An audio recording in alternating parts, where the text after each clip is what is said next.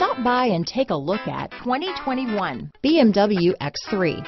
BMW X3 builds on the success of the original by developing its core competencies while adding new technology to establish new benchmarks for agility, efficiency, and comfort.